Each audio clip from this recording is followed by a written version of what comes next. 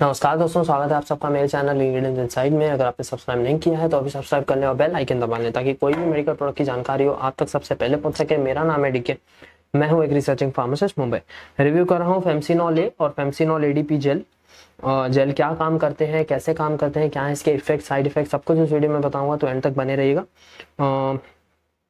Dabur company से market कर रही है और डॉक्टर्स इसे एक्ने और पिंपल के लिए प्रिस्क्राइब करते हैं। एक्ने वलगैरिस और पिंपल्स का बहुत ज़्यादा प्रॉब्लम होता है तो प्रिस्क्राइब किया जाता है फेमसिनॉल एडीपी लेकिन अगर एक्ने वलगैरिस टाइप वन होता है तो प्रिस्क्राइब किया जाता है फेमसिनॉल ए फेमसिनॉल ए का रिव्यू कर रहा हूँ पहले। आ, दो ही दवाइयाँ इसमें डाली गई हैं क्लिंडामाइसन और निकोटिनामाइड। क्लिंडामाइसन कीटाणुओं को मारने का काम करते हैं और इन्फेक्शन और बढ़ने से रोकता है। क्लिंडामाइसन जो इन्फेक्शन एक एरिया से दूसरे एरिया में ना फैले, उसको भी रोकने का काम करता है क्लिंडामाइसिन तो अच्छा इंग्रेडिएंट डाला गया है क्लिंडामाइसिन नॉर्मल सारे एक्ने पिंपल क्रीम्स में क्लिंडामाइसिन अब डलता ही है। दूसरी दवाई जो डाली गई है निकोटिनामाइड निकोटिनामाइड जो एक्ने और पिंपल का जो रेडनेस होता है, जो लाल लाल स्किन दिखती है, उसको ठंडक देने का काम करती है निकोटिनामाइड तो ऑल इन ऑल निकोटिनामाइड भी एक अच्छी अच्छा इंग्रेडिएंट डाला गया है। 20 ग्राम की ये जेल है और डॉक्टर जैसे एक्ने पिंपल मैंने आपको बताया के लिए प्रिस्क्राइब करते हैं। One hundred and twenty nine rupees की ये जेल है।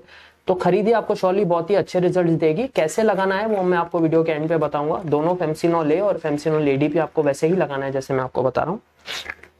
दूसरी दो, दूसरी जो क्रीम है वो है फेमसिनॉल एडीपी दवाइयों में स्लाइड चेंज है। फेमसिनॉल एडीपी में एडापेलिन और क्लिंडामाइसिन डाला है। क्लिंडामाइसिन इन्होंने बेसिक ही रखा है क्योंकि क्लिंडामाइसिन इन्फेक्शन रोकने का बहुत अच्छा काम करता है। दूसरी दवाई जो डाली गई है वो है एडापेलिन एडापेलिन भी इन्फेक्शन को दूर करने का काम करती है और कीटाणु को मारने का काम करती है। तो दोनों यहाँ पर इन्फेक्शन को रोकने का काम करने वाली दवाइयाँ हैं। ऑल इन ऑल अच्छे इंग्रेडिएंट्स डाले गए हैं। एडापेलिन थोड़ा सा स्टेरॉयडल बेस भी है और इन्फ्लेमेशन और रेडनेस और सूजन भी घटाने का काम करती है एडापेलिन अच्छा इंग्रेडिएंट डाला गया है। 15 ग्राम की ये जेल है फेमसिनॉल एडीपी और 174 इसकी एमआरपी है। तो आपको इसे दिन में दो बार लगाना है दोनों फेमसिनॉल ए और फेमसिनॉल एडीपी दिन में दो बार आपको इसे लगाना है, सुबह नहाने के बाद और रात को सोते समय। आ, कैसे लगाना है वो भी मैं आपको बता रहा हूँ। फॉर इंस्टेंस आपको चार जगहों पर एक्ने आ रहा है। वन टू थ्री फोर आप क्या करेंगे? रात को सोते समय फेस वॉश कर लेंगे और हाथों को एक अच्छे एंटीसेप्टिक हैंड वॉश से हाथ धो के आप फेमसिनॉल समझ लीजिए एडीपी लगा रहे हैं अभी तो फ़र्स्ट फिंगर पे लेंगे और पिंपल पे टच कर देंगे। सेकंड फिंगर से सेकंड पिंपल पे। आप ऐसे हर पिंपल के लिए अलग फिंगर लेंगे। अगर हम सेम फिंगर लेंगे तो इन्फेक्शन फैलने का डर रहता ही है। तो ऐसे आप हर पिंपल के लिए अलग फिंगर लेंगे ताकि इन्फेक्शन ना फैले और बहुत ही जल्दी आपको रिज़ल्ट मिल सके। दिन में दो बार आपको इसे लगाना है, सुबह नहाने के बाद और रात को सोते समय। मिनिमम तीन महीने के लिए अगर आप ये जेल लगाएँगे, जैसे मैंने आपको बताया तो ये आपको श्योरली बहुत ही अच्छे रिज़ल्ट देगी बिना किसी साइड इफ़ेक्ट के।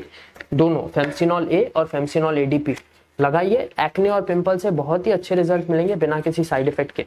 आज के लिए इतना ही दोस्तों, शुक्रिया।